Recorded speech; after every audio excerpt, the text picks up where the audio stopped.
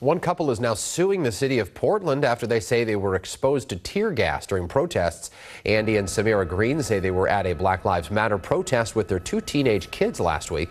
But while leaving the demonstration, they claim they were caught in the middle of tear gas released by police. The couple is seeking up to $200,000 in damages. The police chief in Portland has resigned amidst all the protests. Former Chief Jami Resch specifically chose Chuck Lovell, an African American lieutenant, to take her place. Resch resigning just six months on the job, saying she needs change to start with change and says resigning is the right thing to do. She will remain with the Portland Police Bureau. Today, the mayor of Portland will release a list of police reforms that he supports.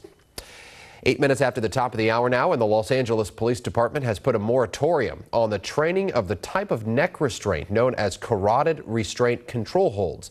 California's Governor Gavin Newsom also calling for the end of the hold and other techniques just like it.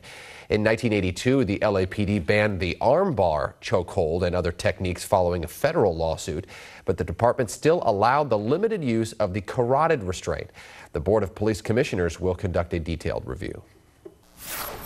Congressional Democrats have introduced legislation aimed at police reform. The package would ban chokeholds. It would also create a national database of excessive force incidents by police and then prohibit those no knock warrants for drug cases, like the raid that led to the death of Breonna Taylor in Kentucky. We need a national use of force standard. Right now, the question asked if there is police misconduct and excessive force is to ask of that use of force, was it reasonable. Well, as we all know, we can reason away just about anything. President Trump held a roundtable with members of law enforcement and police unions yesterday, and he vowed to them that there will be no dismantling of American policing.